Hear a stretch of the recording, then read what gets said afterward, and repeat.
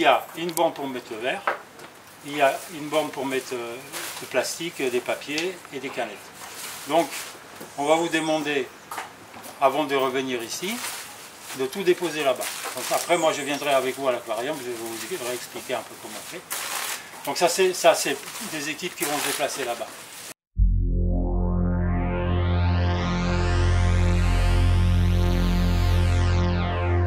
Nous sommes à la marina de Gosier de Pointe-à-Pitre. Oui. Euh, à la capitainerie où on est en train de se rassembler pour, euh, pour euh, monter des équipes.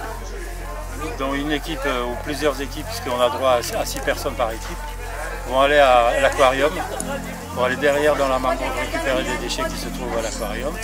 Et il y a d'autres équipes qui vont être amenées par bateau en face pour aller sur la pointe qui se trouve derrière la station d'essence où il y a beaucoup de déchets qui sont ramenés par la mer. Je vais vous demander de, de vous séparer déjà en deux groupes de ceux qui peuvent aller à l'aquarium.